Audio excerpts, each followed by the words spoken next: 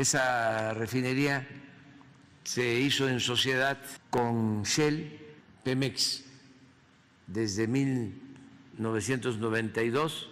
Era eh,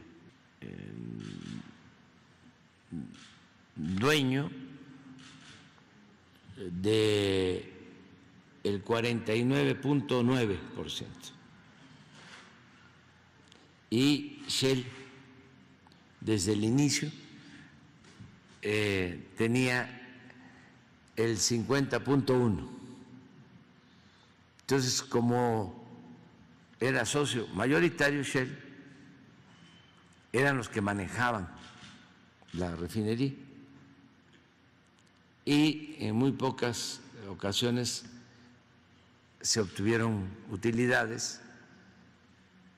Las utilidades se reinvertían porque la administración estaba a cargo de Shell. Ahora decidimos adquirir la parte de Shell para que el 100% de las acciones sean propiedad de la nación, de México.